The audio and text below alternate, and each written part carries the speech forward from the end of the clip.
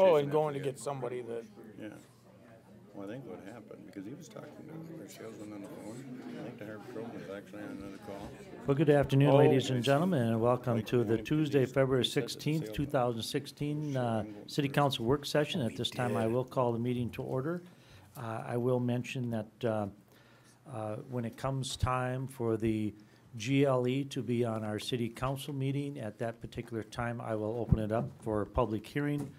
Uh, During this particular one, this is a, a work session for the council to get all information. We're not going to be asking for input from outside of uh, anybody but the Glacial Lakes area. So just wanted to get that clear and out there. So the first thing that we want to do is discussion on terms and assurances regarding the vacation of South Broadway. This is uh, something that the council here, as a work session council, has seen, what, two, three times, I think?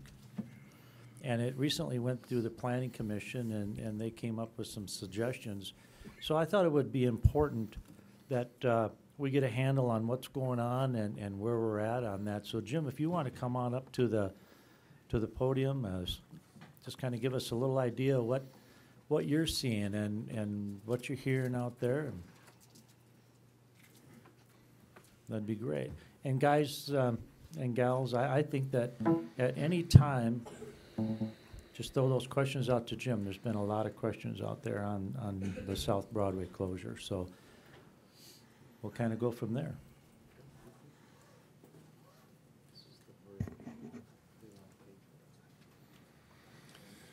Thank you, Mr. Mayor. Uh, Again, my name is Jim Sire. I'm CEO at Glacial Lakes Energy.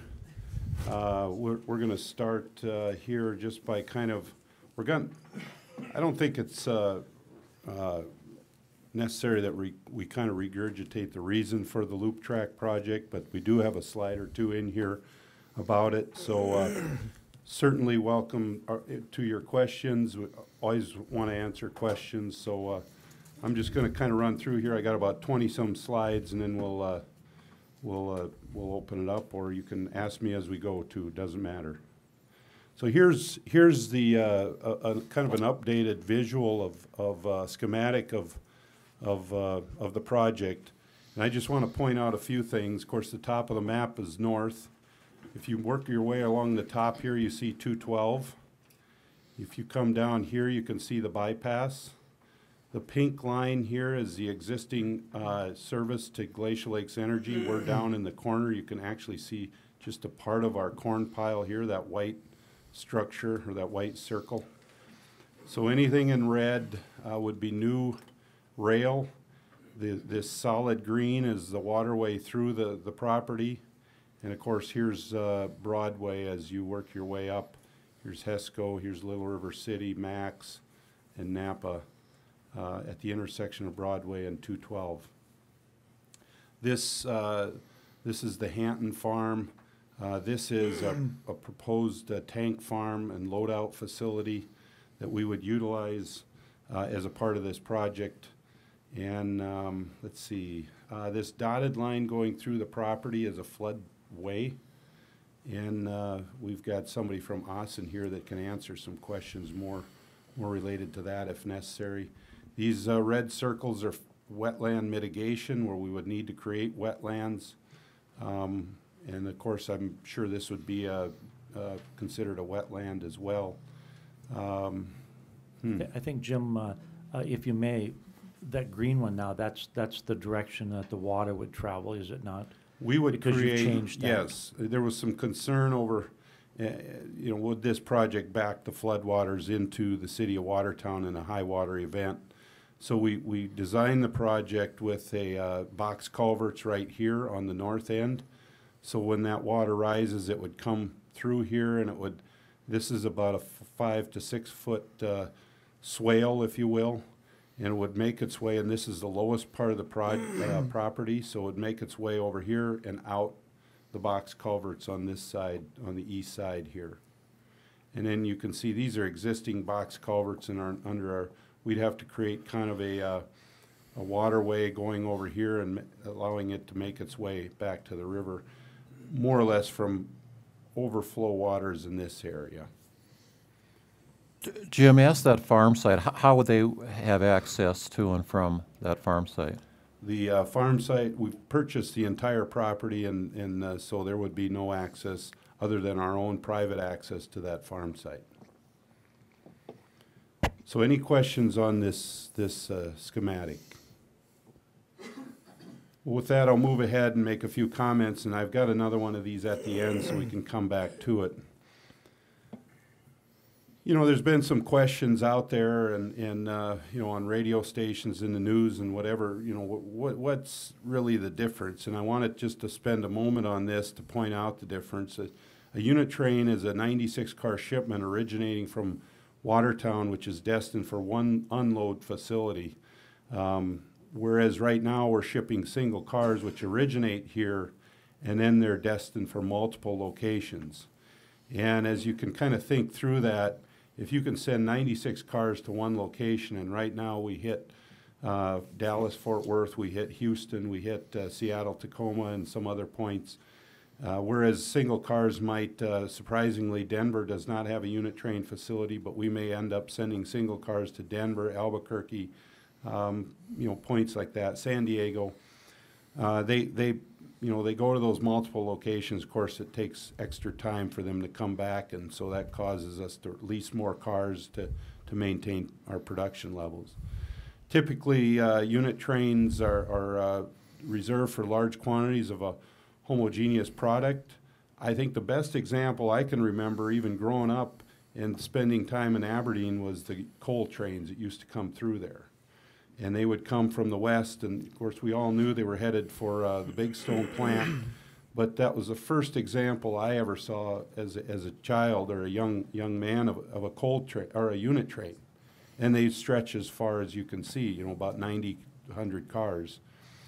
The grain is rapidly moving this direction, and and uh, I think out in our Mina plant uh, uh, area, we've in the last seven or eight years we've seen probably six or seven unit train facilities pop up. Grain is shipped from that area to all points, uh, including for export, um, out of that area uh, with unit trains.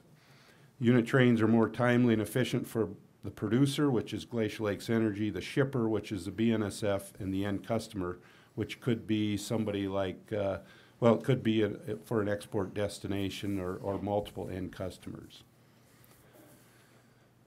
Uh, in a letter to the, uh, the mayor a while back, the, uh, the, uh, the VP of Ag Products from the BNSF uh, had this to say.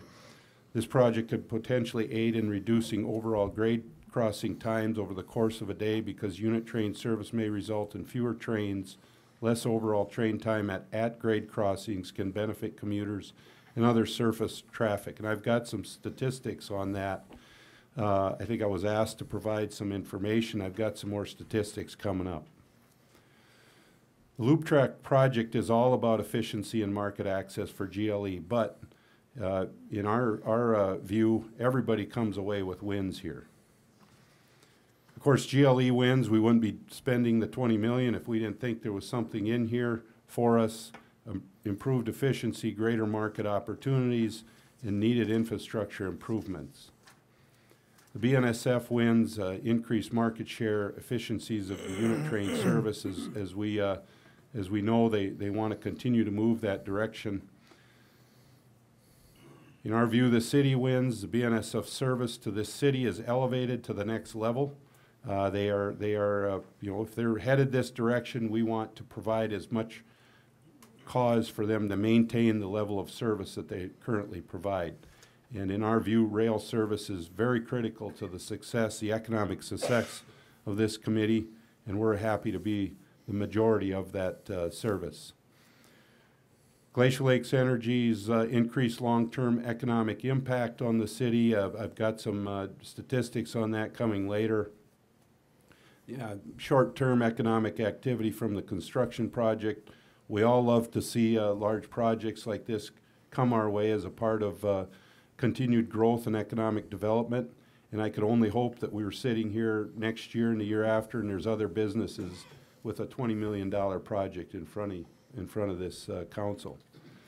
a change in property tax assessment. We fully expect that this will lead to a, a change in, in that property that we purchased. And of course, with the improvements that we're gonna put on it, we, we fully expect that there will be some, some additional property tax assessments. Well, Jim, based on that, what you're saying there is, is that all this is gonna be brought into the city, am I correct? Uh, th- That would be our assumption, but Yes. even, even so, I mean, I, my understanding of the, the, the property taxes are that would make its way back to the county and to the school, and, and so city residents would, Yeah. would Well, benefit. y- You know, and I'm sure that we would prefer it to be annexed into the city, so I just, I'm just throwing that out. I don't know that we would oppose any, any effort to do that. And we feel there's a big win in this for the general public, uh, you know, and this is maybe the, the, the biggest area that, uh, uh, outside of GLE. Um, enhanced highway accessibility, fewer railroad crossing events, uh, trains keep moving, um, fewer idle tank, tanker cars uptown. Uh, that was kind of brought to our attention by the fire department last meeting. Uh, quite frankly, we haven't even, weren't even aware of that, hadn't thought about it. We kind of made the assumption that, you know, we're, we're used to being around loaded tanker cars, but not everybody else is. So, uh, you know, so if there's some concern out there about that, um, this, this would give us the capability to take those cars in our own possession and keep them out of the main heart of the city. So let's just talk about the improved safety and accessibility for a minute. Uh, the current situation as a single car shipper, uh, and we've all been there, the staging of, on arrival and departure causes traffic backups on US 212. And, you know, this is, this is a classic. I think we've all had a front row seat to this where, you know, you're sitting there on 212 and you think, okay, here comes the end of the train, and then all of a sudden it starts to slow and it stops and it goes the other way. Well, that, that's what they have to do as a single car shipper. They have to do this staging and swapping around and moving of cars and, and, uh, so, uh, you know, we know that that, uh, we're all, we're all aware of what happens there. And again, uh, because of limited space, uh, we've got those extra tankers parked uptown when, when GLE tracks are full. We reached out to the BNSF crews and, uh, they, they, uh, basically said, in their estimation, that there's an average of eight to ten crossing events per week here in Watertown, across two twelve, okay? Or, and that equates to roughly thirty-two to forty per month. And they're nearly always during peak traffic hours, right? I mean, you're, you're, I'm gonna run this quick errand at noon, and then you get caught there, and now you got to explain to others why you're late for meetings. And I define peak traffic hours as seven AM to seven PM here. So under unit train uh, operation, uh, first of all, there would be four loops or four tracks within the one loop. Um, and they, each track is capable of holding an entire ninety-six car train. The train would arrive and it would come through and it would basically have minimal interruption, uh, if any, and just come in and, uh, other than it, it taking time to clear the, uh, you know, the ninety-six cars to clear. It would enter our loop and, and kind of curl itself up in there, the engines would un, unhook and, and, uh, then it's, it's, uh, on our property and available for us to, to, uh, manage and fill and, and, uh, stage for the next departure. On the departure, uh, I call it the hook and go departure concept. It eliminates this back and forth staging that occurs. The engines come in, they hook up to the 96 car string, they air up, they get ready, and they're out of there and they're gone. Now they're going to cross 212 again. Um, just doing some math, if, if they travel at about 10 miles per hour, and we have reason to believe that that's about what they travel at, they will clear 212 in, in about eight minutes. I don't know what it is now. Uh, I know that we would, uh, we would have, uh, uh, some, uh, uh, you know, probably some additional time at times. Sometimes maybe it's quicker than that, but, uh, again, that's, that's kind of our assumption of how this would work. Again, we would have minimal need to park extra tankers uptown. Uh, and this would equate under a unit train facility, and this is actually based on the production out of Mina. So we have real live data to, to base this on. There are 12 cross, there would be 12 crossing events per month versus the 32 to 40 that we currently experience. Now, the other thing is that we all need to keep in mind is these unit trains run at all hours of the day. And we've actually got time logs for the entire 2015 that show uh, when these trains come and go. So half of those are occurring during non-peak hours, or some of them, in, in the case, some of them are in the middle of the night. And here we go. I mean, of our 80 ethanol units up in Mina, this is actual real live da- data that we pulled. About 45 of those 80 were, were between 7 a.m. and 7 p.m., and 35 of, of them were, were uh, between uh, 7 p.m. and 7 a.m. So almost a 50 50, uh, certainly uh, as close as you can get without being there. Uh, DDG units, our distiller units would look about the same in terms of arrivals and departures. We didn't, we didn't gather that information. Once we saw this, we felt like this was, uh, and our crews up there are telling us that DDG units look and act the same way as an ethanol unit. So kind of moving into some of the other concerns we've heard about with this project, what about the flood concerns? Uh, we are designing this uh, project with a zero rise goal and designation is, is that, that designation has been held intact so far. Uh, you saw the waterway through the middle of the property and it follows the lowest elevation. Um, you know, we may very well have a better capability to handle a high water event with this design than we currently do. Um, and then FEMA, uh, the FEMA consultant has approved our plan, and now it's in front of FEMA for, for approval. What about the bridge? I mean, we've had, uh, you know, some discussion early on about this bridge. Uh, we've, we've dug into that, and we've, we've did some uh, fairly extensive uh, review of, of uh, the engineer's recommendations. First, we had to understand why the bridge was being weight limited the way it was. And uh, after we, we saw, actually went under the bridge and saw some of the deterioration that's occurring, um, there's really the option that we would, we would uh, be willing to partake or include in the project is a option that would provide a estimated 30-year life for $400,000. Uh, we've added that into our project budget. Um, it would eliminate the weight limits. It would replace the deck, it would replace the beams, beams that hold the deck, and will allow HESCO uh, unlimited or unrestricted service and access. Uh, the only, uh, you know, the only thing we'd be looking for from the city going forward is the maintenance of that bridge. What about affected businesses? Uh, we're working with Little River City on a customer diversification plan. We've introduced uh, a blender pump program that the governor's office has in front of them or that has, has they've been pitching. Um, we've been working with uh, folks over there to to uh, uh, to try to diversify their their uh, customer base. Um, they have shared with us that they're uh, heavily dependent on uh, their casino, and so we would like to try to maybe drive some other traffic in there that would, and if we can get them retrofitted with blender pumps uh, we think we can uh, drive our shareholders and our, our loyal uh, followers to that location. I'm not, a, I'm not opposed to even handing out uh, uh, coupons good for cash purchases over at uh, Little River City to our employees, to Dakota Bodies employees, to people in the trailer court or whatever we need to do for a period of time to get people moving that direction.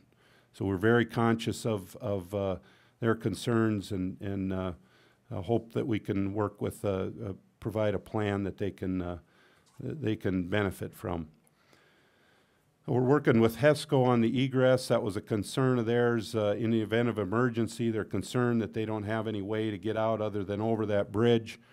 Um, we will actually have a 13-foot wide access road all the way around that, that track. The only thing separating HESCO from that access road or from the general public from that access road would be a, uh, a basically a, a gate on existing Broadway. So we'd have to give HESCO some access to that gate so they could open it and get out in the event of emergency. In my discussions with uh, Mr. Henrik, uh, he felt that that was uh, more than acceptable. And, um, you know, certainly not something we'd want to continue because of the, you know, you'd be driving right next to rail cars and, of course, uh, we don't want that to be a public road, but certainly uh, in a, in a short-term event, it would be uh, workable. Dakota Bodies uh, really had no concerns over this.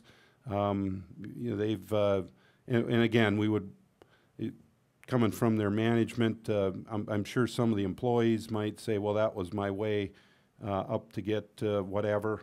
If I wanted to run errands, we would again make, make sure that they had some access if they were, as uh, Little River City has indicated, if, if they, uh, if, if this is a part of their clientele, we would make sure that we provide some um, benefit for them to continue that relationship. Uh, What about cutting off uptown? Uh, Of course, you know what they say about opinions, everybody has one. Um, I don't see this, we don't see this as a concern. Uh, I pulled some uh, traffic on Broadway north of 212 uh, toward the uptown area, and it's been constant since the 20th Avenue bypass opened. It ranges from 3,700 in 2008 to 3,500 in 2014. Interestingly enough, there was a period in there where it peaked at 4,000 vehicles. I think, uh, of course, Shane is new to town. I, you know, I'm, I've been here those years, and I can't explain why Broadway north of 212 would have those fluctuations unless it was seasonal, or maybe some other road was closed. But uh, um, that those are the numbers. Uh, I I think uh, people will continue to use Broadway to the north of 212.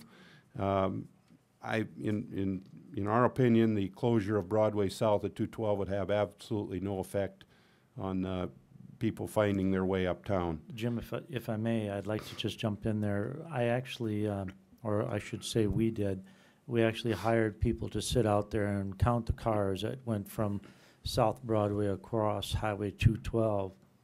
And on Saturday, from, from coming across from the south to across to the north, uh, throughout the day, there were 67 cars.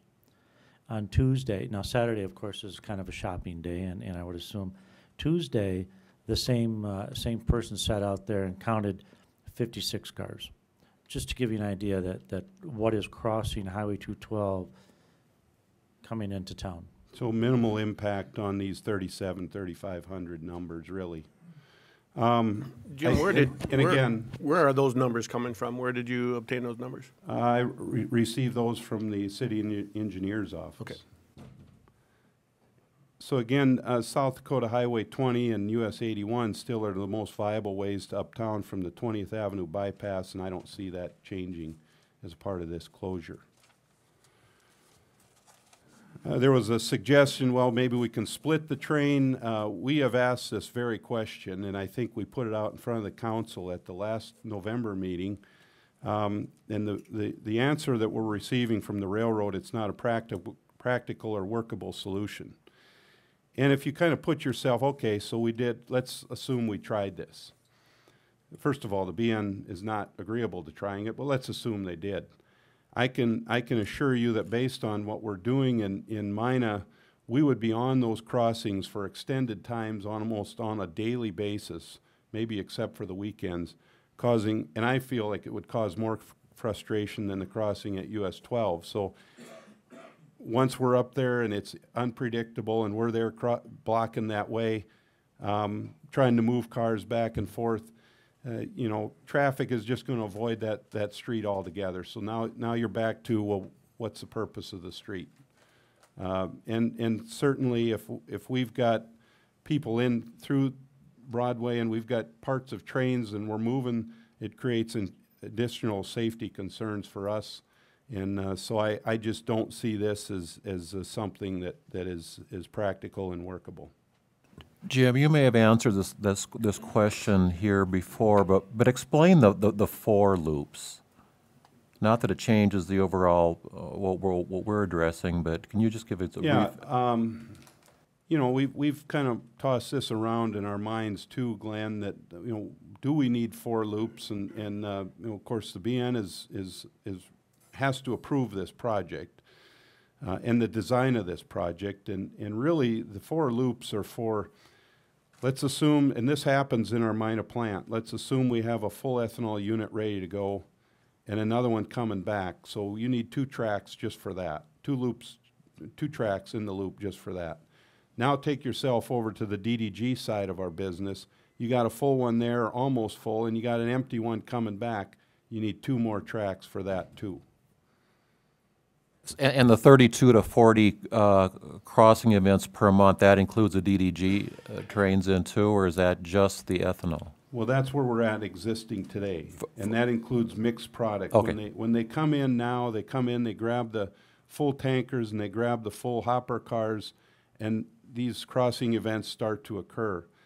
In this particular situation, you're gonna have them coming in or bringing in all tankers or all hopper cars, and unless there's some upset in Willmar or uh, some other point, I would not see a situation where they mix those.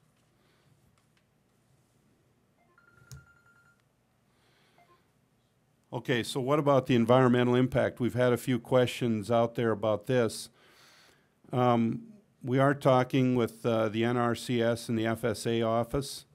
Um, a question that I've posed for the mayor is would this be compatible with the city's wetland bank? I mean, we certainly would be open to leaving some space for that. Uh, I mean, we're down in a low area. I would think that this would be ideal for, for that kind of a, compatible to that kind of a project. And it's very probable, if not uh, definite, that we will uh, convert the rest of that tilled ground in that loop to uh, CRP or some sort of conservation easement, and that's what I'm talking to the folks at the FSA about. Shane, can you uh, maybe step in there and, and just give us a, a little history again about uh, the wetland banks and how that works, and if it would qualify for that? Well, wetland banks, um, if you have sporadic littler or smaller wetlands throughout the community that development's gonna overtake, what you do is you m- consider having a wetland bank area that's within the watershed, but it's not located where those developments are happening, happening, and usually they are in the lower areas, like the area along Broadway down here, so, um, we could easily bank up some wetlands, you know, several acres, so that way, when, uh, a different part of town needs to encroach on wetlands, we have available space to just easily, So, so are you saying that if you got some spot up north here on a, on a development, we could fill that wetland in, use this that you've banked over here, is that correct? typically that's allowable, yes. Or, or come into our loop and create the wetland. Again, the project timeline is, is uh, fairly quickly here. I mean, we, s- we, uh, our intent is to move dirt this spring with a fall, uh, two thousand sixteen completion. Uh, you know, there's some, some contingencies here. Of course, the FEMA approval, the BNSF approval, approval to close Broadway. Um, and then, uh, you know, this bridge, uh, we need to make sure that that gets replaced. And the, the option I think we put in front, front of the, the, uh, engineer's office was, uh, you know, roughly a forty-five to sixty-day project. Uh, we would need to have that bridge replaced before, we could close off HESCO from the south. In that time being, you could be working on construction of your own. We would be in the back part of the property, more than likely building the, uh, the deck or, or the, the berm for the rail track, yes. Uh, Just some, uh, I want, you know, this is something that, uh, I think we all like to see when we, you know, I, I sit on the board of the Watertown Development Corp. And, uh, when, when there, you know, our mission is to take care and, and, uh, provide a, a favorable business environment for existing businesses as well as new business.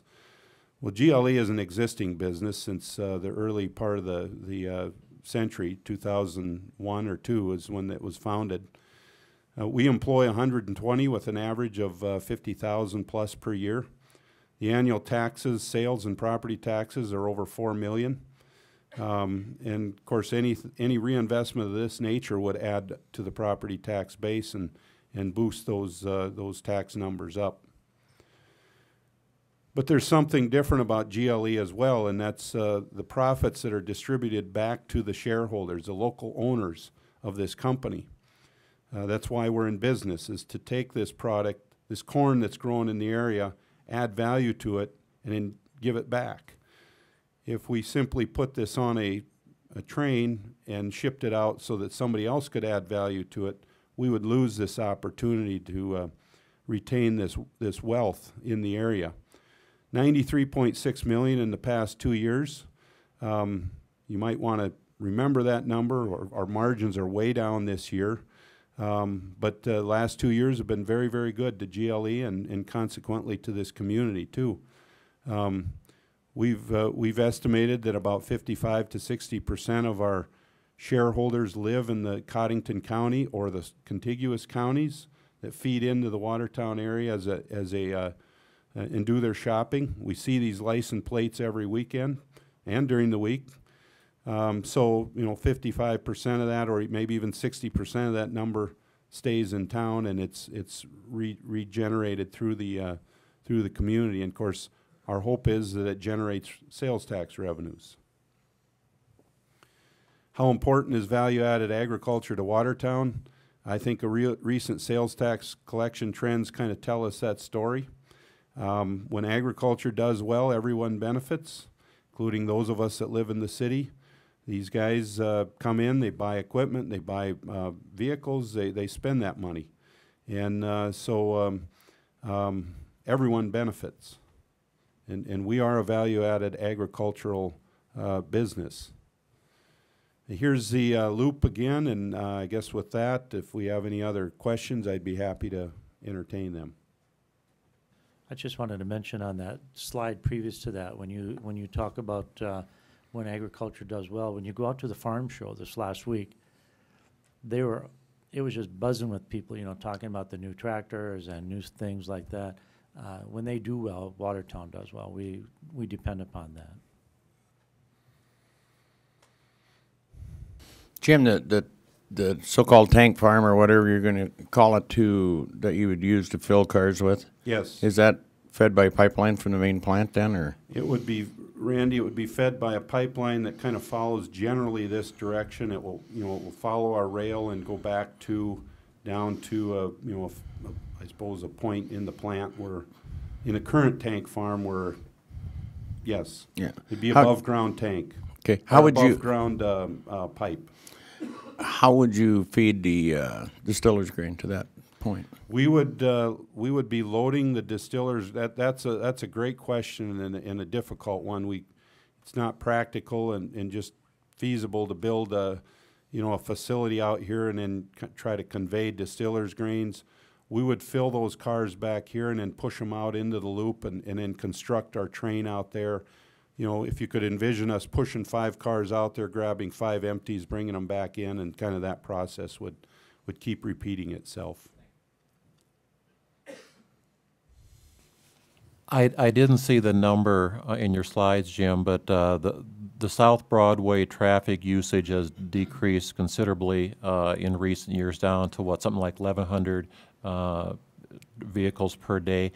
I don't know if you would know this, or Shane, how was that 1,100 arrived? Is that, uh, in other words, if, if one car goes both directions, is that count as two, or is, are we only counting one side of the, uh, the, the road? If they take the same path to and from town, they're counted twice.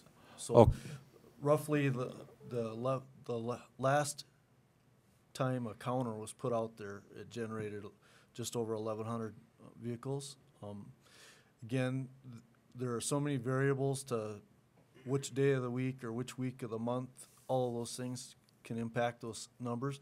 Obviously, that seems a little bit high compared to what our observer that sat out there does, uh, or has counted. I mean, certainly we had probably more than the fifty or sixty cars in the whole day, but in the time frame that they're there, that's a pretty low count. Just to be So- clear, that sixty cars is cars that went straight across two twelve, not took lefts or right. Correct. Yeah, so, okay. Shane, when you, when you made that count, was that prior to the bypass construction or The, the eleven hundred Yeah. number was after. after? Thanks. My understanding, the number, uh, Mr. Bueller, before the bypass was, uh, three times that. That's correct. People that live in that area, has anybody asked them anything about this? Is this an issue for them, or do they take the bypass and now with eighty-one going to get that roundabout, will that take care of the people that live? There quite a few people live down there. I don't know where they, I really don't know where, if they use that new road, or if they try to get on eighty-one, or what does happen. Well, I, I would have to assume that since the, the drop in the, the Broadway traffic dropped to a third, that they're using the bypass. Um, I mean, going from thirty-three hundred to eleven hundred would seem to me that they're finding ways to get east or west other than going up Broadway. Uh, Dan, I, I don't know, I mean, I'm, I'm still, uh, kind of, uh, i it's an open question how that, that roundabout's gonna work down there with all the truck traffic, and, I mean, we've talked to the state about that, and they claim that, you know, have no worries, this has been proven in other states, and they've run every model they know to run through there, including the extra long doubles that we see. Uh, so, uh, you know, will, will those folks that live down there, will they adapt to that bypass, or that uh, roundabout? I can tell you that, uh, that corner does make me nervous, um, every time I have to go through it. Uh, you know, it's, it's kind of a, should I step her down and try to get through right here, or should I just wait another five minutes, cause there's cars coming from both directions? And, uh, so, uh, I would think uh, the roundabout hopefully will improve that, that trip. Um, so I, you know, I, I don't know, I mean, and maybe to answer your first question is, we, we have had some informal feedback from the, the trailer court. We've not done a formal survey, we've not been over in there knocking on doors, but we've, we've had some feedback and, you know, it's, it's really, doesn't seem to be of concern. And I was kinda hoping that if there would be some, I mean, I'm, we're here tonight, I'm gonna be on What's Up tomorrow. Um, kinda hoping to hear some of it, but, uh, uh, and we may, uh, we may actually do something, I'm, I'm not quite sure, um, we may do something to, uh, inform or educate those folks, uh, about the decision coming up in front of the council, uh, just to, to make sure that they know what's coming. Shane, when is the roundabout scheduled to go in over there? It's like 2018. eighteen? So this is, if everything goes through, Jim, this is gonna be in place about a year and a half to two years in advance of the roundabout. And Yes. so that's gonna put more traffic to that corner than what we're seeing today. Um, those eleven hundred cars gotta go somewhere, or, or whatever their number is, 500, 800, whatever it is. So that would be, certainly that's one cause of concern. That's a terrible corner. I, you know, I, I almost got killed there going down Lake Ponce, uh, last summer. And so I know it's bad, and you guys are there all the time. So, um, you know, that, that almost two-year period with no fix for that corner probably is a concern, though. At least it's certainly a consideration. Well, I'm not a traffic engineer, but I think the first fix would be to lower the speed limit going through there. The city has made that request and has not gotten a positive response because they anticipate the speeds will go down with the construction of the roundabout. Everybody's gonna have to slow down to negotiate that, so they're gonna, they're kinda in a wait and see pattern, but I did make a request to reduce the speed limit.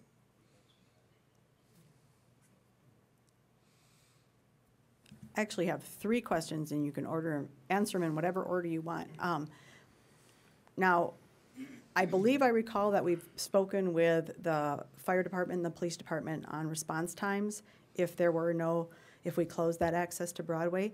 And then the last question I had, we were talking about economic impact, and I recall when the plant was first being built, that there was a tremendous um, impact on the municipal utilities and how much utilities you used. And um, is that something that's going to continue to benefit the entire community? Their buying capacity stay big? Are you going to increase production? Do you understand where I'm going with that? Is that something that, uh, Yes. Um, The feedback we've received, or at least, uh, uh, I, actually, I got an email today from uh, the Assistant Chief uh, wants us to consider supporting his, uh, his uh, project out west of the airport there. I guess there's another phase coming up. And in the email, he did share that he is in full support of our project. Um, So I think we enjoy the support of police and fire, and if I remember right from a previous comment the mayor made, is that there's no concerns on either, either department there.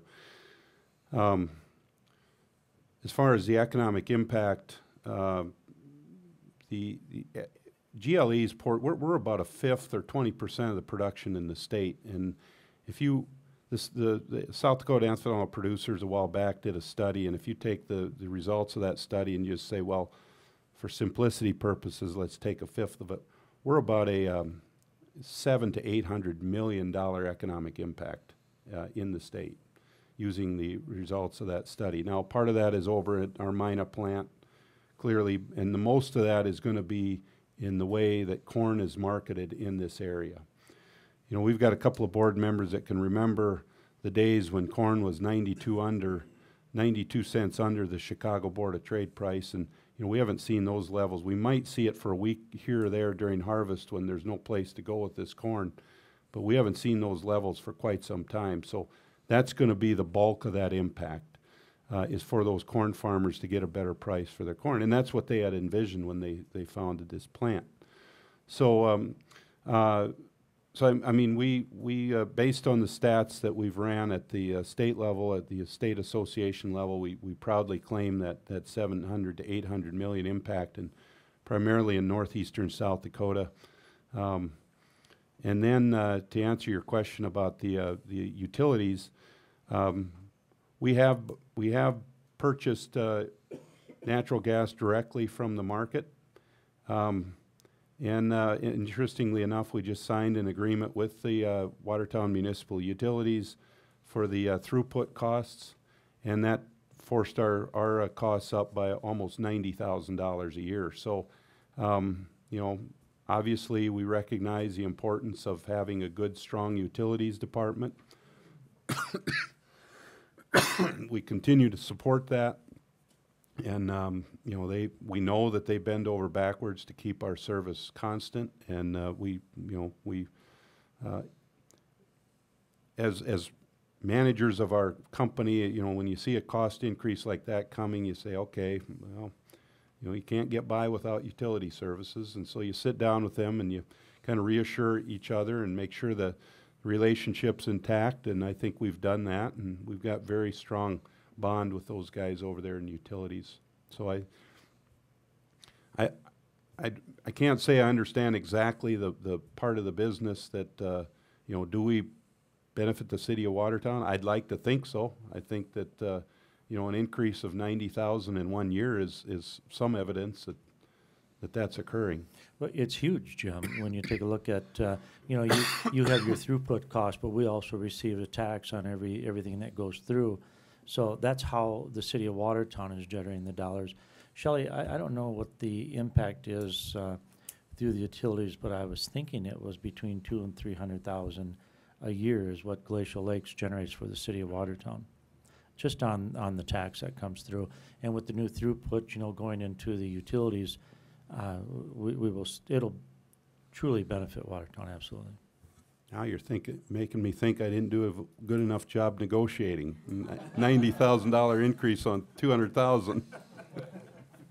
See, Jim, I got a question. How big, when you have, when you have a tank car full of ethanol, how many gallons in that? About thirty thousand? Yeah, just under thirty thousand. Okay. And, and on a typical day or week, if I was to walk out into your property as well as the area north of Highway two twelve, where all those tracks are at, how many cars would you guys have there, both empty and full?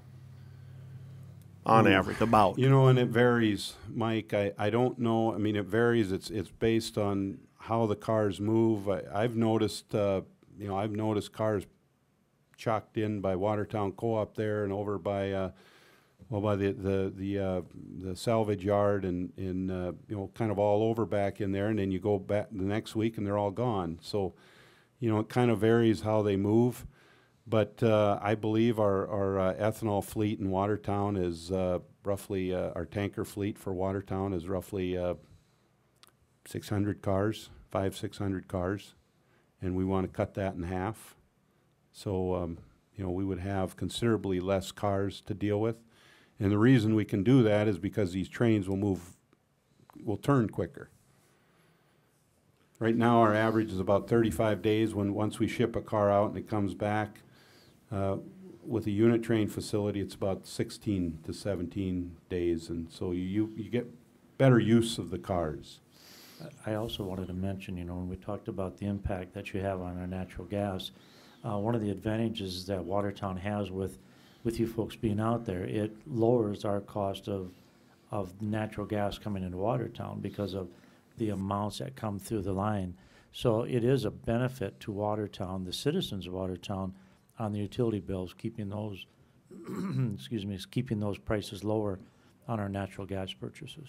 Well, I, I'd like to think of it as a two-way street, Mayor. I think, uh, you know, we certainly benefit from, uh, uh, having a more robust and, and, uh, uh, uh, state-of-the-art u- utilities department. Um, and, from that, the, the citizens benefit. Um, at the same time, the citizens benefit when, when there's somebody like us on the other end of the line too. And, uh, so, I, you know, I, I'd like to think it's a kind of a mutual, uh, beneficiary, uh, beneficial agreement or situation. Jim, if you were to go back to emergency response time, you know, I think what a lot of people fail to do is look at the impact of the whole community. I mean, if, if you look at the impact of the whole community, commu- or, uh, response time, and if you're taking those trains off of Highway two twelve and you're limiting that, that's gonna increase the response time to the whole community a lot. I mean, it, I don't know how many times a, a police car or ambulance or fire truck has been stopped at a railroad crossing. So if you're going to eliminate that by a third or half, you're going to increase the response time or decrease the re- response time in the whole community. Well, So- you're, Randy, you're gonna decrease the at times, the number of times that a, a emergency vehicle will get hung up there. And really, again, it's, it's, we're going from thirty to forty crossing events during the course of any given month to, uh, and that's per in, per the BNSF estimate, to, uh, really to six. Because we're gonna have twelve crossing events, but remember, six of those, or five of those are gonna be at night. So now you can have emergency vehicles moving at all times of the night, but again, I don't know what, what the, their stats would be as to when their, most of their calls are, but I'm gonna guess that most of them are during the daylight hours. The, the other issue, and let's not, not forget, that Highway two twelve is not our only issue. We have a, your trains that go north have either four or five other intersections that they need to, to close. So, you know, those are our ability to respond as well. It depends on what direction we're trying to respond to. Well, Jim, uh, I want to thank you for being here. I know that this went through the planning commission, if I'm not mistaken. Shane, how did that end up as? Planning Commission recommended approval of the Okay. vacation. Uh, This will come in front of the council on March the 7th as a, uh, uh, an open, a public hearing, I'm not mistaken. The public will be asked uh, if there's any, uh, anyone who speaks in favor of or against it, and that'll happen on the 7th of March. So uh, if there are no more questions, thanks, Jim. I I sure appreciate it. And, Thank you. yep.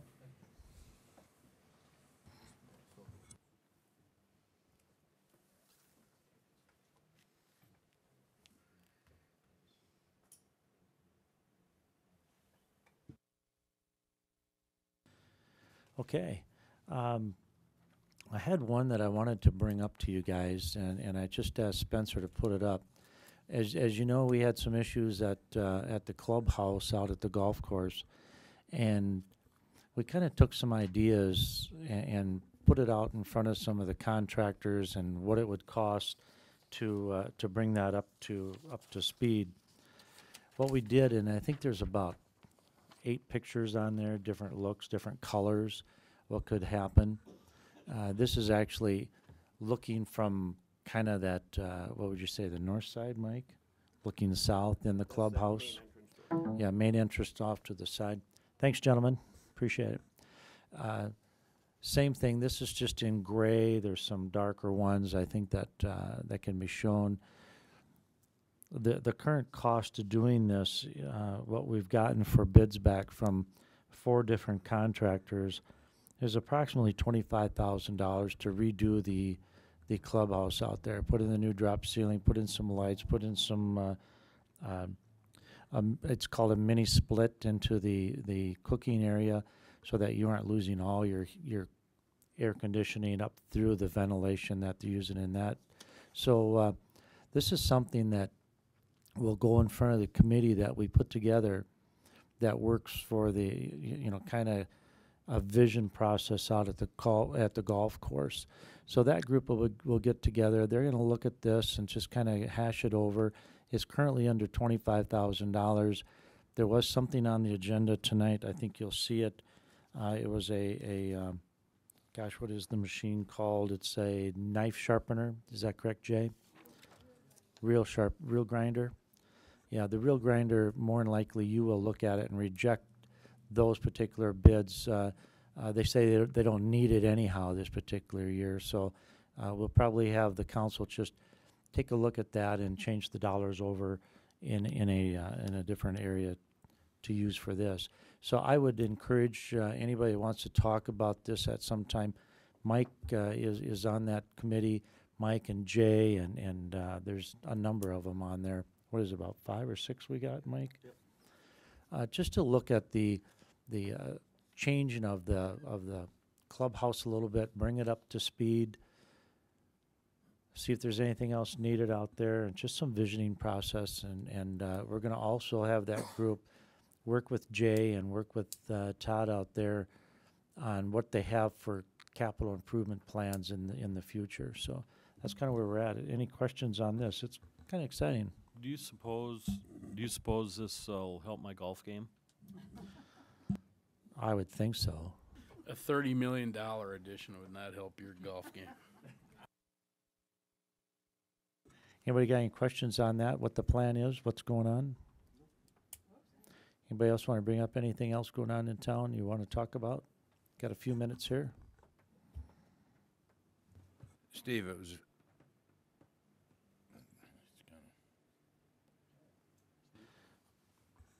Yeah. Go ahead with your, uh, Oh, it just, I think, John, this question's for you, for the uh, event center. Uh, Curious when the fights, the Fury fights are going to be out there, do you know? Just so you know that, uh, um, I know we talked to Jen out at, uh, in Pierre. Uh, They're absolutely on top of this, you know, that's the attorney that works for the state of South Dakota. Uh, The person running these fights has uh, numerous things that they had to jump through to, to get it done and to get it approved. February twenty-seventh, Saturday. Okay. Okay, Dan, what do you got? The last time I talked to you, you were going to discuss uh, the uh, hockey rink things, and I don't know if this is appropriate now to ask. I've been gone, so I didn't follow up on what you had heard or where we are with uh, hockey rinks. As a matter of fact, Shelley and I were at a meeting today, and, and uh, we had the opportunity to look at the new rinks and the two rinks on it, how many seating, you know, it's over 2,000 seats in it. Uh, two rinks, it's, it's extremely nice. It looks, it looks very, very nice. We're just trying to make sure that uh, the dollars are there and everything is squared away for it. No timeline yet, or maybe a timeline? No, no time, no timeline as of yet, Anybody see they were out there burying uh, light poles out at the new softball field? It looks like they got all of them in, so. I didn't see that. You got to get out of your office more I often. think so, yeah. Either that or it's too close to my office, one or the other, so. Anything else? Okay, at this time, I will adjourn this meeting, and we'll be back at seven o'clock for the uh,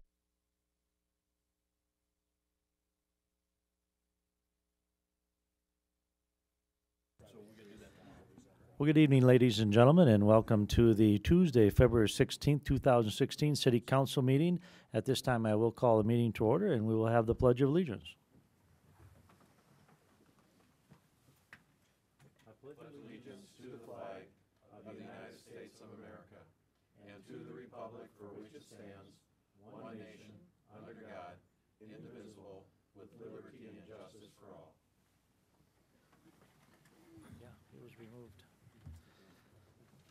Shelley, you want to do roll call for us? I can. Albertson? Here. Bueller? Bueller. Danforth? Here. Manty? Here. Riefenberger absent. Roby is absent. Solom? Here. Thorson? Here. Tupper? Here. Tupper? Billhauer? Here. Thank you. Okay, at this time, I'll look for a motion, a second, for discussion on approval of the consent agenda. Motion by Beth, second by Glenn. Any questions? Hearing none, I'll look for council action. All those in favor say aye. aye. Opposed? Motion carried. Number two, I will need the approval of the agenda, but I would like to add under thirteen A to uh, add a signature, signature for an easement for a permitted approach. Or, uh, tell me what you want then. I thought that's what you were asking. It's a, the it's a, it. it's a, a permanent, encro- it's an encroachment agreement. Encro- Oh, that's right, I got an easement, I'm sorry, encroachment agreement, and you're looking for the mayor's signature on that. Correct, So we need to put that on thirteen A. Okay, so I look for a motion on that. I'd look, all right, have a motion. Motion by Randy, second by Mike. Any questions? Hearing none, I'll look for council action. All those in favor say aye. Op- Opposed? Motion carried. Sorry about that, Stan. Number three, application for a temporary location transfer and return of a retail on-sale liquor license owned by Zeus Incorporated doing business as Second Street Station as follows. Uh, Just so, just a a heads up, this is for the Codington County Pro Pheasants. For the period of four PM, February nineteenth, two thousand sixteen, to two AM, February twentieth, two thousand sixteen, from fifteen Second Street Southwest to nineteen ten West Kemp Avenue. At this time, I will open the public hearing if there's anyone here who wants to speak in favor of or against this. Hearing none, I'll close the public hearing. I'll look for a motion and a second for discussion. Motion by Bruce, second by Dan. Any questions? Hearing none, I'll look for council action. All those in favor say aye. Opposed? Motion carried. Now we gotta transfer this back. So under B, it's for the period after two oh one AM, February twentieth of two thousand sixteen, from nineteen ten West Kemp Avenue to 15 Second Street Southwest. At this time, I will open the public hearing if there's anyone that wants to speak in favor of or against this. Hearing none, I'll close the public hearing. I'll look for a motion and a second for discussion. Motion by, who was it down here on the right? Randy, second by Beth. Any questions?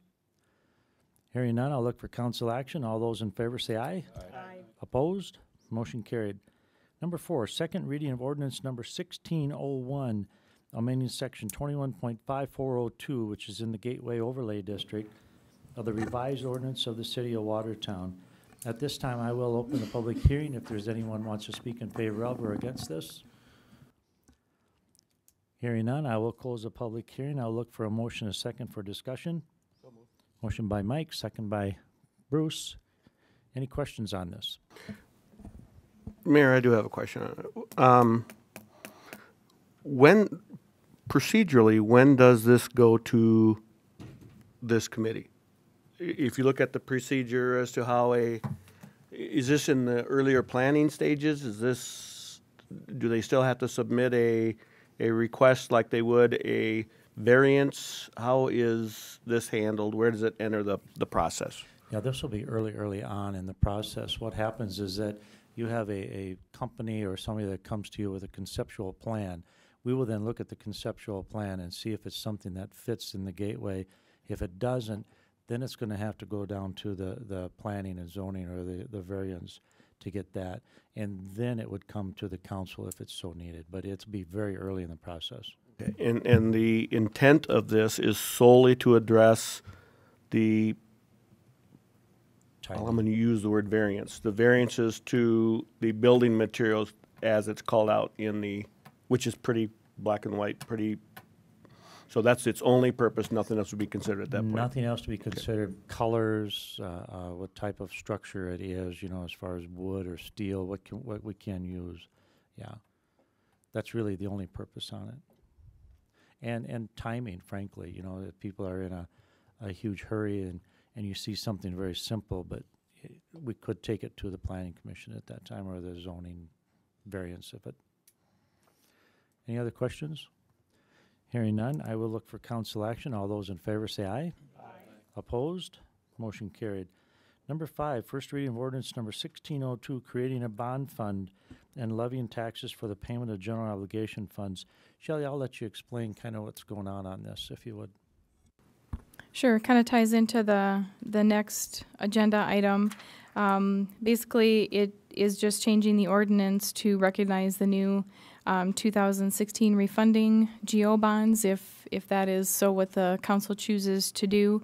Um, every, all the other language mirrors what we did in 2010, the last time we refunded. Um, the bond fund has already been established. Um, we already levy taxes at 105% of the principal and interest payments, so nothing else is changing. It just basically says that we're having a 2016 refunding bond.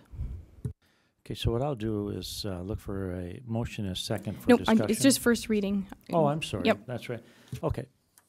Pardon me. Did you want to entertain any questions on it, Shelley, if there are any? Okay. Any questions, guys? Okay, let's move on then. Number five, resolution number sixteen oh nine relating to the general obligation refunding bonds, series two thousand sixteen, authorizing the issuance and making provisions for their payments. Uh, again, Shelley, if you'll take this, this one we do need action on. Yes. Yep. Um, Dougherty contacted the mayor and I a couple weeks ago and um, just let us know where the markets were and what the potential savings to the city were. Um, you guys have been given that. That's um, an estimated savings based on the current market conditions. Currently, the the rates are anywhere from 2.35 to 3.35 on our, on the bonds we have outstanding. Uh, the new rates would be um, 0.75%, um, at the highest 1.7%. So it, it decreases them significantly. Um, the, the total savings, as you can see down there, is just about $193,000. That equates to a net present value benefit of 5.54%. Um, when we're looking at these, anything over 3% of a net present value savings um, makes it worth the bonding costs. The savings outweighs um, the cost associated with that and can actually uh, cut down how much you overall pay. One of the advantages, um, this is a GO bond, and so property taxes are used. So you, you levy property taxes, it's not sales tax. So just so everybody's aware of that. Um, one advantage of the refunding is the ability to pay this off early. Um, that's why you- all the savings is usually recognized at the tail end of this. And because you have to um, bond, you have to levy your taxes at 105%. There is just over $300,000 sitting in that bond fund in reserves that will be used to pay the last payment. With the decrease in that last payment, by the time this comes up, there should be enough to completely pay that off without having to levy any additional taxes for the 2023 payment of principal and interest. So that is a benefit to the taxpayers of, of having that paid off one year sooner. And, and just as a reminder um, for the um, council members that haven't been through this before, this is just an estimate. And until we actually do our final lock-in of rates, um, we don't know where those are going to end, and it all depends on the market. And just because this gets passed tonight, it doesn't mean that we're actually going to do the refunding. If the markets go up, if our savings isn't isn't where we want them to be, uh, nothing needs to happen past that. This just allows that to happen. Um, if the markets are still favorable once the 20 days past the publication and the resolution is effective. So, That's correct. And, and one of the interesting things is that uh, they came to us almost a year ago and asked us to do this. And uh, in our discussions, we, we really came to the conclusion that it wasn't the proper time. But uh, now to save $192,000 on a $3 million bond is substantial. So I think it's, it's good timing for us. So uh, I will look for a motion and a second for discussion. Motion by Glenn, second by Beth. Yeah, are there any other questions you have for Shelley? Shelley, the hundred and ninety-two thousand referenced, is that net of our costs? That, that's a bottom line to us, or is that the costs come from that one ninety-two to,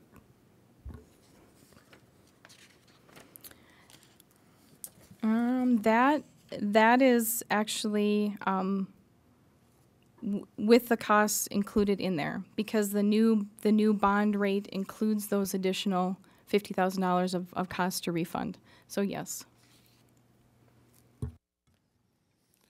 Any other questions? Hearing none, I will look for council action. All those in favor say aye. Aye. Opposed? Motion carried. Thanks, Shelley. That was, uh, that's a good thing for the city of Watertown right there. Number seven, consideration of proposal from Audio and Visual Connections for audio equipment and installation at the new wellness facility. Stanton, if you want to uh, help us out on that one? Thank you, Mayor. The new wellness facility has reached the point in its construction where the audio and video equipment is ready to be ordered and installed. Two proposals were received, and if the council's familiar with the recent upgrades to the council chambers, this equipment isn't required to go through a competitive bid process. However, um, the we did receive two proposals, and the building committee has, has reviewed them, and they're recommending that the council accept the proposal from Audio and Visual Connections in the amount of one hundred and seven thousand and forty-one dollars. And payment for this equipment will be made from the furnitures, fixtures, and equipment portion of the project budget. Okay, thanks, Stan. So at this time, I'll look for a motion and a second for discussion. Motion by Randy, second by Mike. Any questions anybody has? Here. Go ahead. Where was this compared to the other bid? Price You wise? know, I don't have that right in front of me. I think, we- Randy, I think that they were within about, I want to say a thousand or Okay. fifteen hundred dollars Yeah. difference, and I, this Awfully close. number here, um, is less engineering costs that we won't be charged, so that's why this ended up being the better Okay. for us, because we Okay. had to have engineering, and so that was done by actually audio. Okay. uh, is I just wanna make sure that so, we're sure, in- yeah, in they the were- same- They're yeah. very, very They were close. very, very close. Okay, thank you. And just for the public, it, it's the community center. Uh, we refer to it as the wellness center. I, we all know that that's the same thing, but some of the folks out there might not know that, so. Right. Okay, any other questions? Hearing none, I'll look for council action. All those in favor say aye. Aye. Opposed? Motion carried. Number eight, consideration of lease agreement with Yamaha through Evolution Power Sports for the use of a UTV uh, by the police department. Ryan, did you have anything you want to say on this? It's interesting. I can kind of give you a little update on it. Uh, Uh, this is almost free. I believe it's a dollar. They're going to uh, uh, give this machine to the, the police department to use, and uh, I think it's just a really nice gesture by the uh, um, by the Evolution Power Sports for this particular unit. I tell you what, before we get, put you on the spot, then I'll look for a motion and a second for for any questions. Motion by Mike, second by Bruce, are there any questions on this? This is similar to what we do out at, uh, at the landfill with International. They give us a tractor to run out there for actually at no cost.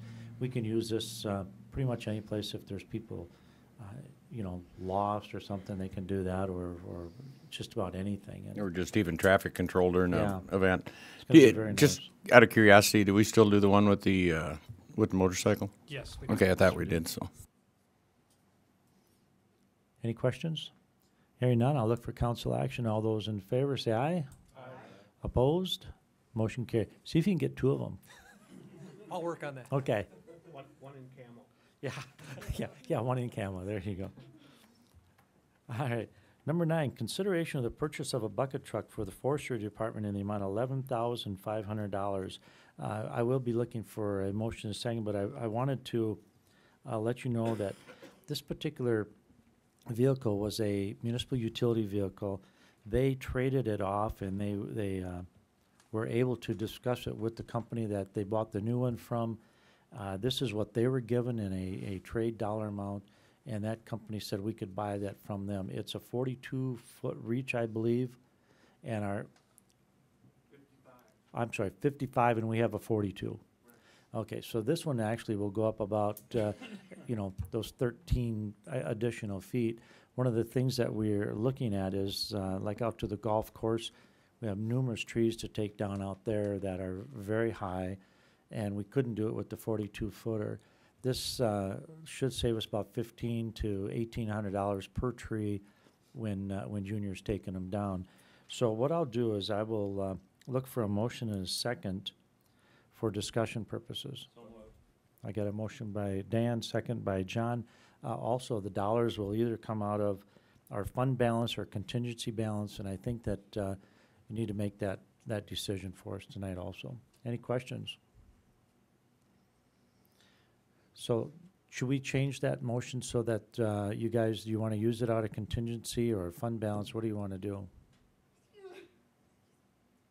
You okay back there? Is that a, is, is that a, is that a suggestion, Christian? What, what would you like done? Maybe you want to, come on up here a minute. Come on. That's usually something I would do. I would make, change my motion then to uh, take it out of contingency. Okay, so I have a, a motion that was changed by Dan that the dollars would be taken out of contingency, and John will second that. Any questions? Hearing none, I'll look for council action. All those in favor say aye. Aye. Opposed? Motion carried. Number, number ten, consideration of bids received for a fairway mower for the golf course. Um, Jay, I need you to come up here and, and kind of talk about this in a little bit.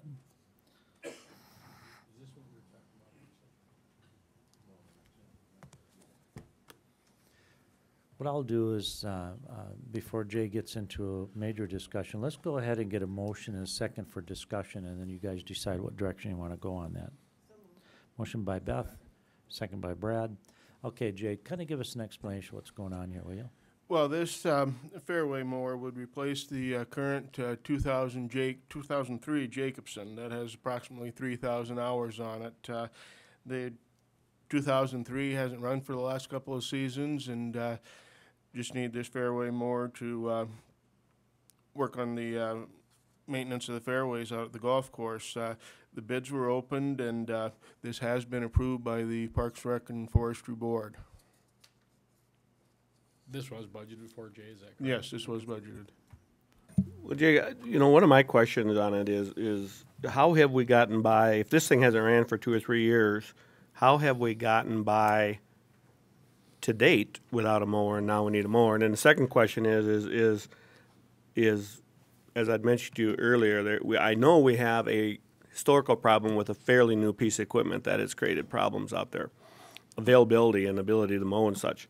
Um, are these, are these intertwined? Is, the- is the problem really the one that we've already bought and it just doesn't run or it's not dependable Yeah. or?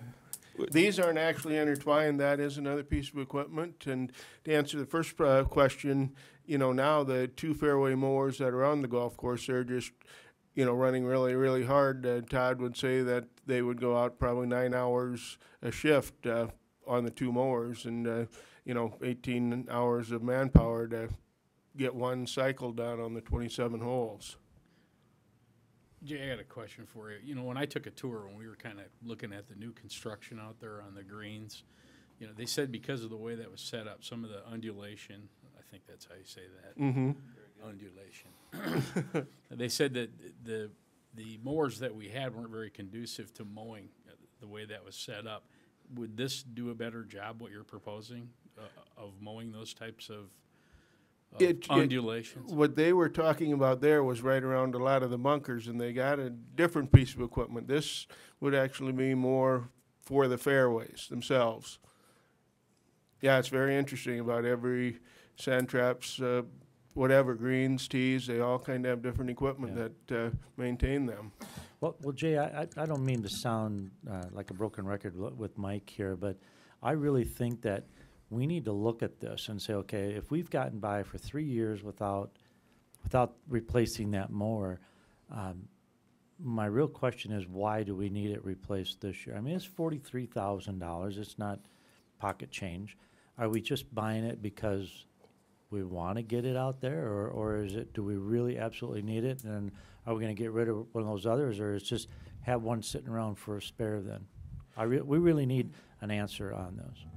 Well, you know, ideally, it will reduce uh, repairs and downtime and uh, also do a better job. That probably allow us to do a little more on the course with some of the um, intermediate cuts and that type of thing. Right now, Todd basically goes from a fairway cut to a rough cut, and a lot of courses will have kind of an intermediate cut, and this would allow him to do more of those types of uh, actions at the golf course. But thi- this mower isn't broken by any stretch, it just requires maintenance from time to time? Or, or your The one we're replacing Yeah. basically is basically for scrap parts. And, but, but the thing is, Bruce, that mower has been gone for three years. So it's like, okay, well, what have we done for the last three years? That's my question. Well, it prob- it was probably needed over the three years, but they figured out a way to do it. But if we're gonna maintain the course, like you said, on the different cuts and cut down on the hours, uh, it, it's probably gonna be needed. Because one thing about, you know, all the equipment at the golf course, uh, it does run very high RPM, and uh, so there is some wear and tear on it. Well, there is, but I see your guys that are, are, are driving out there and mowing every ball diamond and every field out there. They're every day. It's it's running eight hours a day. It's Mhm. not like like those are any different than what we're using out there. I don't think. Well, they're different equipment, but I mean they still have probably the same engine and and things. So I, I don't know. They Uh, can do it this is a with decision you current guys got to staff. make. You can do it with current staff, though, you're not at, gonna come back and say, well, you know what, now we need somebody to run it? No, I'm, I'm sure we'll do it with current staff. J- Jay, th- this was approved for the 2016 budget. If, if we don't uh, accept it now or move forward with it, is that going to change what you, how you need to operate this summer, or? Well, you know, like I said, it would probably just, uh, with the, some of the intermediate cuts and that type of thing, it would, uh, reduce some of the flexibility that we would have on the course. Yeah, can I go back to that Jacobsen? That- Yeah. That, it's, that's kind of long been a thorn in my side, um, and I think it has everybody's, but is that not a fairway mower? I was thinking it was a greens mower. It isn't this mower. I'd have to ask Todd to be certain. Yeah, I could have swore it was a fairway mower, because this last summer we had periods where we just weren't getting the fairways done and we had sent it back. I think it's a fairway mower. And if we're having problems with that thing, it might be, it, it might be aside from this issue, but that thing's been a disaster ever since we've had it. That's my understanding as well, And it's, yes. it's never been dependable, and we go out and spend thirty-five, forty-five, fifty thousand dollars for a piece of equipment, and it is a lemon, and has been a lemon from day one, and it just, I don't know what the process is, but I know that if it, that were mine, somebody would have a tractor somewhere that they don't want it. Um, and, you know, in their garage is what I mean, and, and, but, I mean, it, that's, it's big dollar items, and Yes, I, and I know that comes back probably to, to Stanton and our staff as to what, what can or do we do with those things, but, um, you know, I certainly hate, if they're related, which I believe they are, I hate sitting here going out here and saying that we're gonna get another mower because we spent one, uh, bought one three or four years ago and it just doesn't work right, and that's a big part of our problem.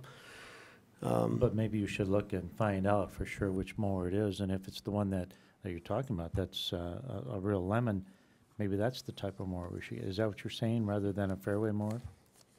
Well, what I'm saying is, what I believe that it is a fairway mower. And, but I don't know, Eh, let me ask you a question, C- could this decision be put off until the next council meeting? I think this is No, already it- passed 'cause up the uh, one time. Thirty days on the bids Oh, it is. was is. coming You'd have to, past. you'd have to go out for new bids, it would, they'd have to be rejected, and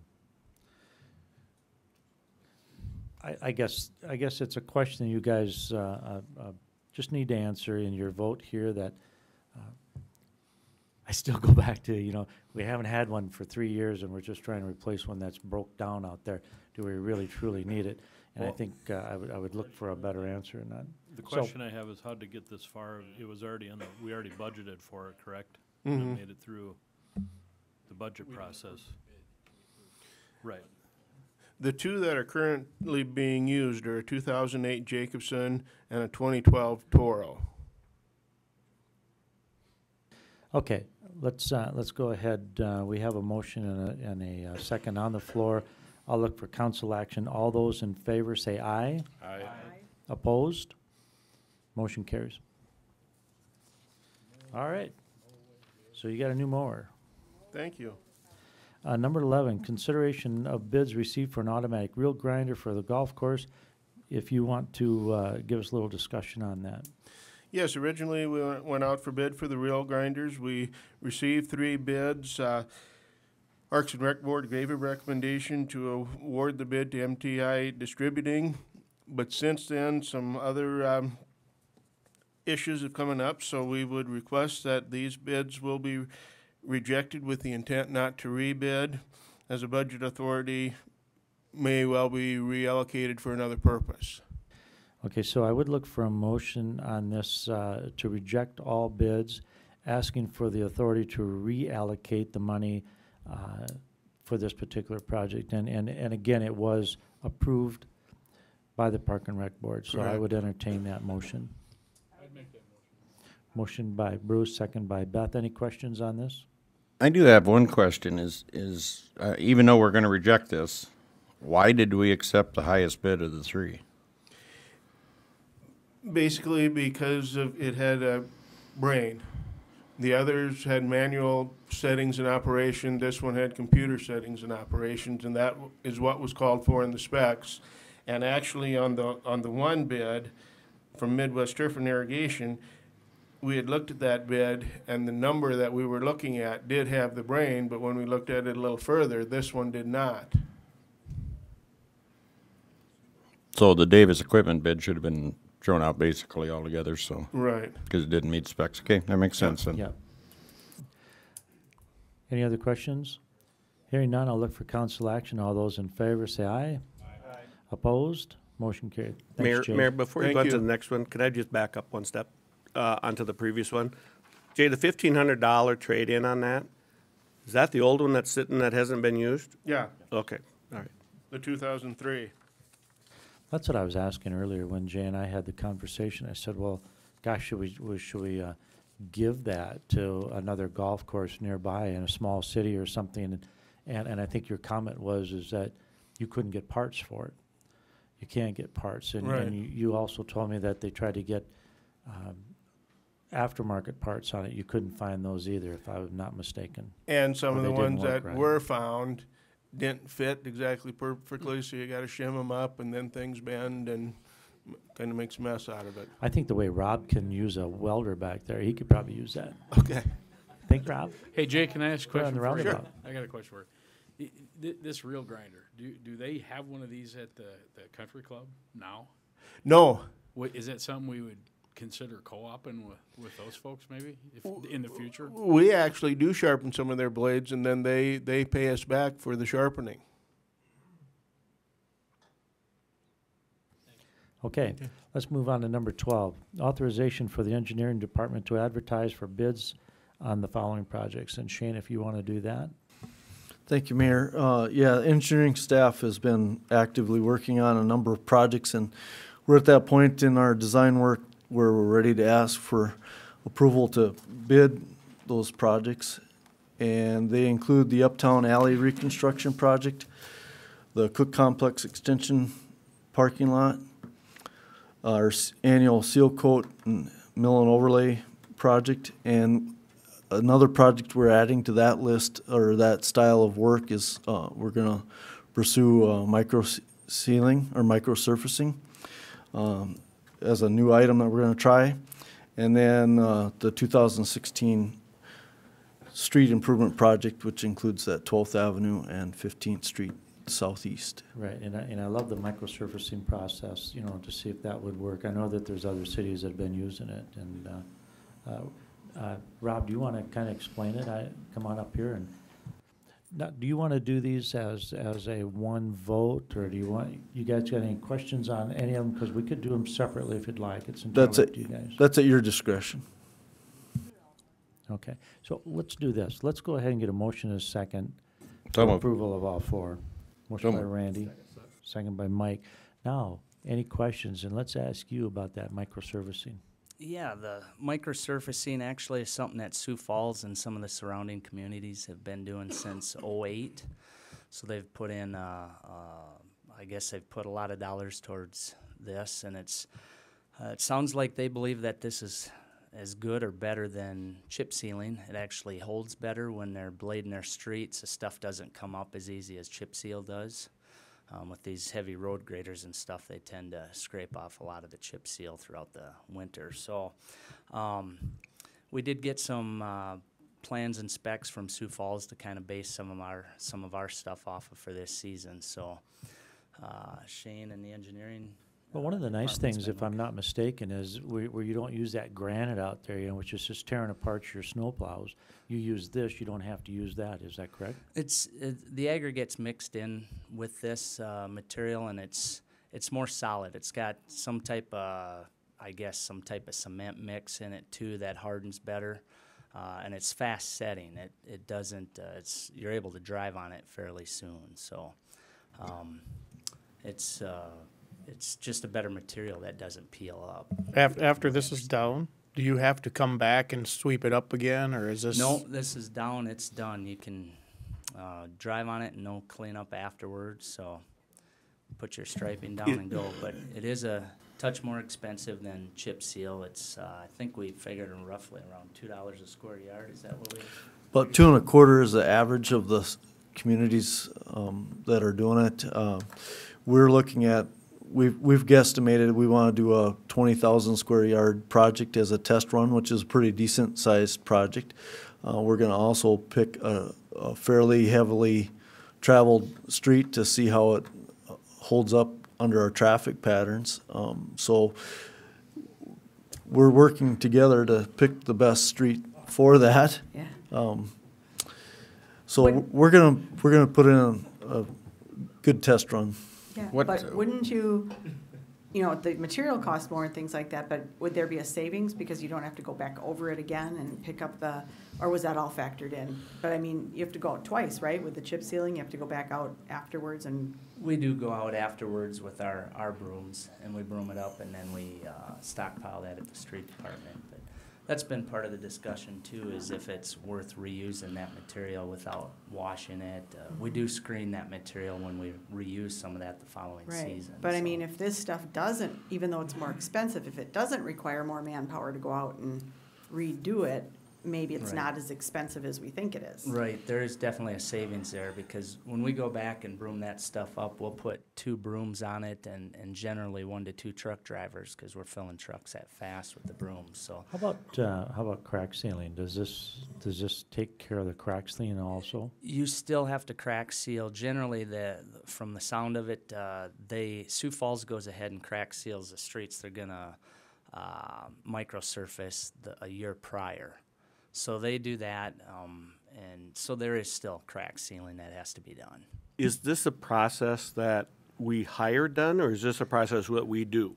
No, we hire it done, and, And is uh, that different than the people we're using today, or is that something that they do? Right. It's it sounds like it's different companies. I, I don't know if these companies actually do chip sealing too, or if this is just what they specialize in. But um, some of the communities that have this, I think there's a company out of St. Cloud is probably one of the closest ones. Um, there's some places quite far away, so mobile mobilization would be one of the bigger expenses. I'm assuming with that getting them up to Watertown. So.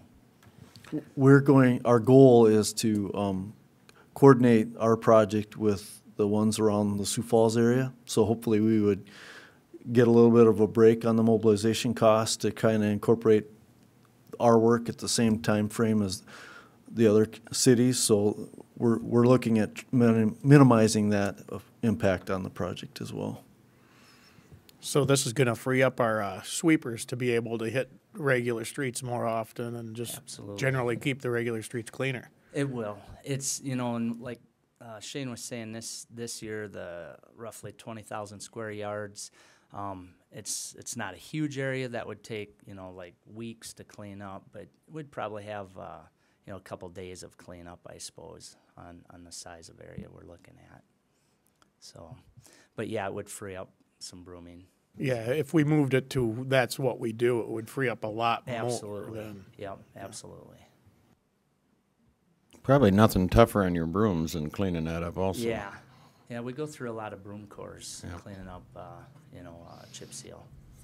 So definitely the the other advantage to this too is with this microsurfacing, it's it's not as hard on cutting edges for the blades. So you don't, you know, we'll go through uh, on a day of blading. Some of our blades will go through three sets at at uh, two hundred plus dollars a set. So. So Well, yeah, I know we- my kids would be able to ride their bike easier on it, it Yeah. sounds like. less skin knees. Okay, any other questions for Rob or Shane on any of this? Yeah, w- Which alley is that? Which alley project? It's actually in the block straight, uh, west of here, the T, we call it the T alley, but, or Bar Street, whichever frame of reference you wanna use. It's bound by Kemp, Broadway, Maple, and First Avenue. Shane, I, I know original talk was to do some of those, uh, the, like the Kampeska lot and some of the other parking lots. Is that included in that, or? Yes, we're gonna do that project, um, in various schedules, so that depending on how the bids come in, we can whittle some of them out of the schedule if they come in too high Okay. or so forth. So we're, we're adding flexibility to that. And then also the, the Cook Complex, you know, just so you know, that's a, a joint a joint effort by the county and city, which uh, is a real positive for us. Any other questions? Hearing none, I will look for council action. All those in favor say aye. aye. Opposed? Motion carries. Number 13, consideration of change order number one to the contract with Industrial Process Technology for the wastewater UV disinfect disinfection improvement project, increasing the contract amount by $2,499 and twenty-six cents. And Shane, if you want to handle that. Yes, thank you, Mayor. Um, on the U, UV disinfection improvement project, um, early on, there was a item or an issue that was identified. Um, the Trojan equipment supplier needed a six-inch conduit, and the plans only called for a four-inch conduit. So the two thousand dollar, um, amount of the change order is to increase all of the size of the conduits that would supply power to the project. And then the second item that was identified in the amount of four hundred ninety-nine dollars and twenty-six cents is that they needed to, um, put in a second temporary electric panel to keep the equipment running out there while they put in the new permanent panel. So that was just uh, identified as a kind of a logistics type issue that, you know, we needed to keep uh, por- a portion of the equipment working while the other portion is down. So that, uh, both of those were reviewed by our consulting engineering firm and approved, or recommended for approval. So we're bringing to you, this to you for consideration. Okay, so what I'll do is I'll look for a motion and a second for discussion. Motion by Bruce, Bruce, second by John, Bruce. Still got this stupid lip that's kind of bugging me once in a while. So I get a motion by Bruce, second by John. Any, any questions? Hearing none, I'll look for council action. No thank. All those in favor say aye. Opposed? Motion carried. You know, I gotta tell you, I, whistling for the dog, it doesn't work quite right, so she's not listening very well. Yeah, I gotta buy a whistle. All right, number thirteen A. This is the one uh, that, that we added on there for the encroachment. And Stanton, if you want to help us out on that, and then how you want the motion to read. Thank you, Mayor. This is a bit of housekeeping and pun intended, but in 1995, a building permit was issued for a detached garage in the 1300 block of North Maple, and the owner of that property has recently decided to sell, and a survey has revealed that that garage encroaches 3.5 feet into the alley. The garage has been there for 21 years and has never been a problem for snow removal or traffic, but the buyer and their lender want an assurance that the city isn't going to make them remove it after they close the sale. So I've prepared a permitted encroachment agreement similar to the one the city has used in the past that would allow the garage to remain and be maintained with the understanding that if it's ever rebuilt, the owner would have to apply for a building permit at that time. The buyer, the title company, and the lender are all satisfied that this agreement will allow closing to occur, and I recommend you authorize to sign, the- authorize the mayor to sign the permitted encroachment agreement so it can be recorded and that closing can occur. Okay, so I'm gonna look for a motion, a second on this. So On, moved. uh, on his motions. I got by Randy and, and Dan. Any questions on this, you guys? Stan, when this came up at the planning commission meeting a couple weeks ago, there was, th- there was some concern that it wouldn't pass muster with the lending institution. I mean, apparently that's not the case any longer? Yeah, the, the mayor and me and Shane met with uh, the seller and the, the surveyor as well as the title company and the lender over the past couple days, and I shared with them a copy of the permitted encroachment agreement that's before you tonight, and they they got back to me finally today and said that everybody's reviewed it, underwriting, the lenders, and that if the mayor's authorized to sign it, this will this will get the property to sell. Any other questions? Hearing none, I'll look for council action. All those in favor say aye. aye. Opposed? Motion carried. Uh, any old business? I did want to, uh, make a couple of comments. There was a letter to the editor the other day in the paper. And I just wanted to be clear on some of these points that are put in here. One is people worried about a retaliation by the city council. I would say that's way off base. I don't know how this person used to work on the city council. Maybe back in ninety-seven, they had that issue, but not anymore. Uh, it- it just, it bothers me that you guys put in so much time and so much energy for what you do, and then you get that. So I'm gonna open that up for discussion. Anybody has a comment on, on that letter, you're sure welcome to do it.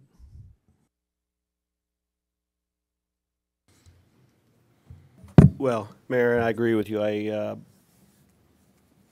I- respect anyone's right to an opinion and to express that opinion and, and, uh, but I think when we express things that either cannot be justified or backed up, or, or there are opinions of this nature, uh, I think they're so detrimental to our community.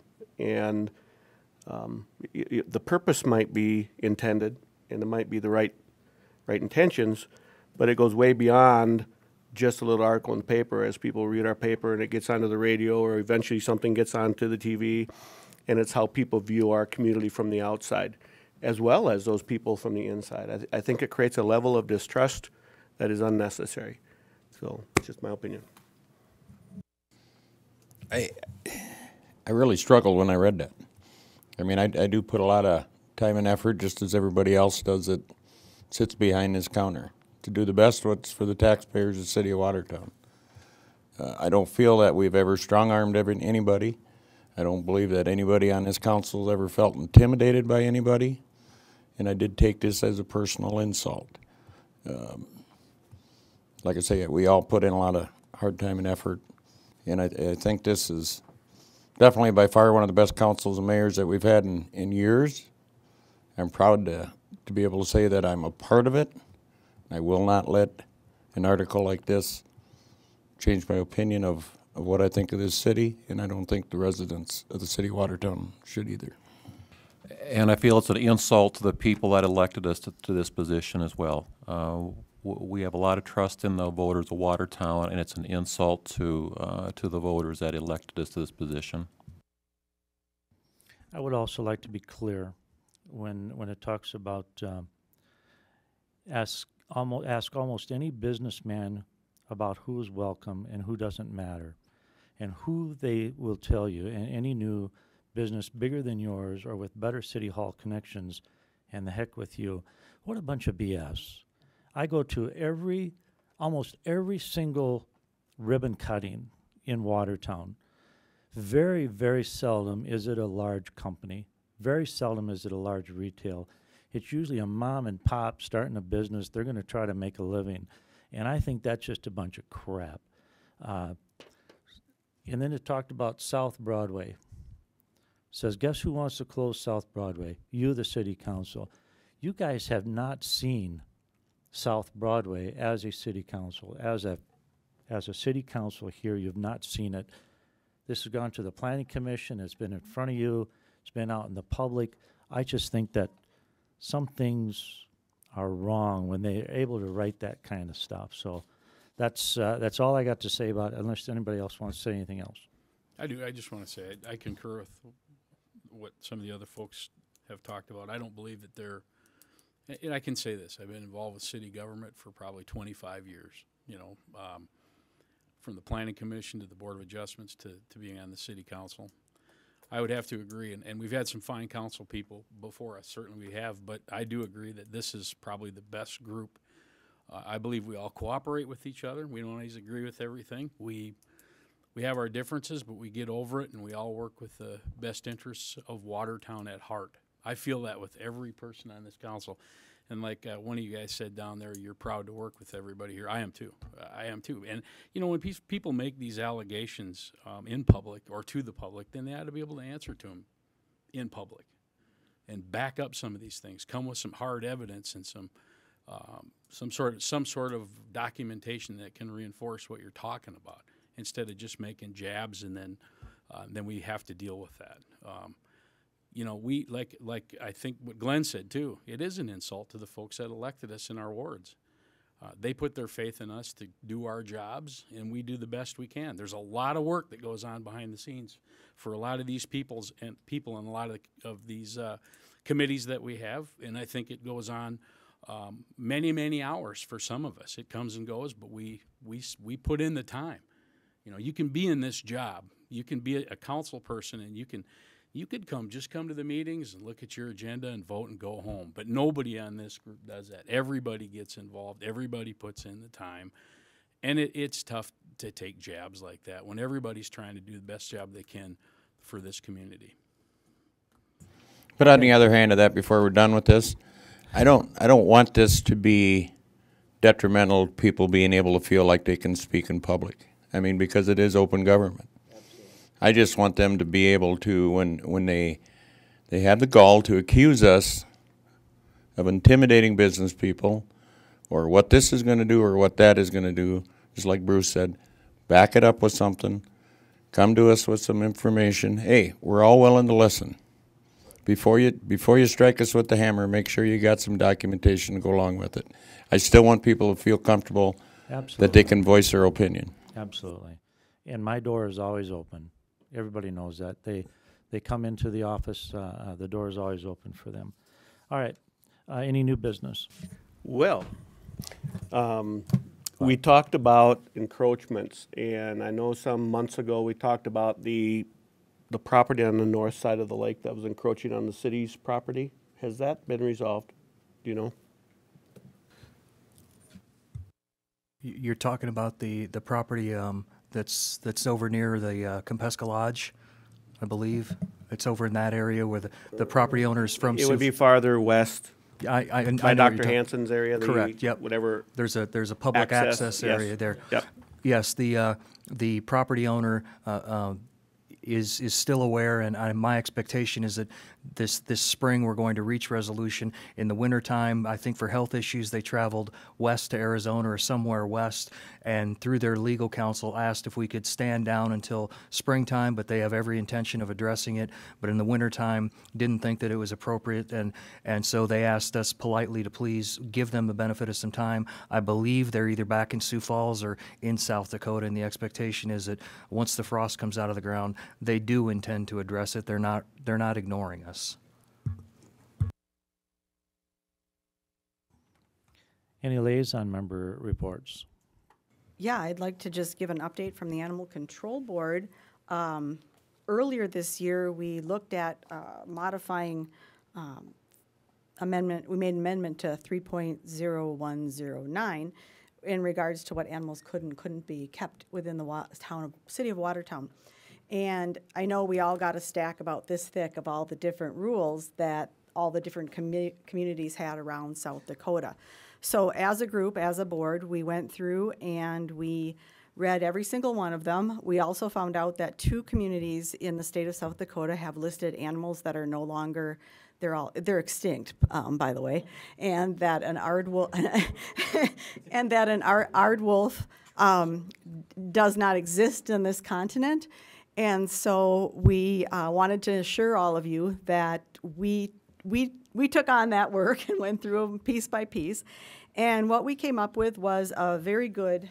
Uh, we also talked to the state uh, veterinarian board and wanted to make sure that we incorporated things that they were looking for in cities as they were redoing their animal control laws. And so we've present, pr- produced something that I believe covers all the things without listing endangered species or in extinct species and added what the state would like. And I'm looking forward to sharing this with Stanton. And when we have it complete, we'll bring it forward for the council to review. But it's a, it's a nice milestone to hit because we were able to, you know, kind of pile through all that information and come up with something that I think is actually progressive. Uh, we are one of the few cities in the state that has already adopted some of the things that the state would like to, us, to see us do. So that's that. Beth, as I understand it, we've got a couple, a couple new, uh, very qualified people as part of that board now as well. We do. Uh, we have uh, Dan Miller, who's joined us on the uh, Animal Control Board, which has been a wealth of information. He's the one who's helped us with the Aardwolf. Um, anyway, and then Chrisma Des- DeWitt, who is a citizen member um, on the board, and she is uh, extremely knowledgeable, extremely dedicated. She shows up to all the meetings, and I guess this is the most effective group we've had in a long time. And obviously, Dr. Reeb and I stay attached at the hip as we have for the past 12 years, and so we're just uh, keeping things done. But it's a it's a great group, um, probably one of the best we've had, and was clearly reflected in getting this amendment done. So. Okay, and I, I did want to bring up, this really isn't new business, it's kind of, we're going to back up to old business, just so you know that um, we were supposed to have a meeting last week with the mall owners, um, Hy-Vee, Dakota Bank, and others. Uh, We had the snowstorm, so they weren't able to make it. They've since have hired an attorney to kind of stand in for them here in town, so we can have those discussions. We will be opening up discussions again with Hy-Vee, with uh, uh, Dakota Bank, with the RVs, all those uh, uh, people that have an interest in it, and the city of Watertown. And the mall has specifically said that they are willing to uh, put some skin in the game now, is what I understand. So we'll open those discussions and see if there isn't something that we can do. All right? Very good. Any need to go into executive session? Hearing none, I would entertain a motion to adjourn. Motion by John, second by Glenn. All in favor, say aye.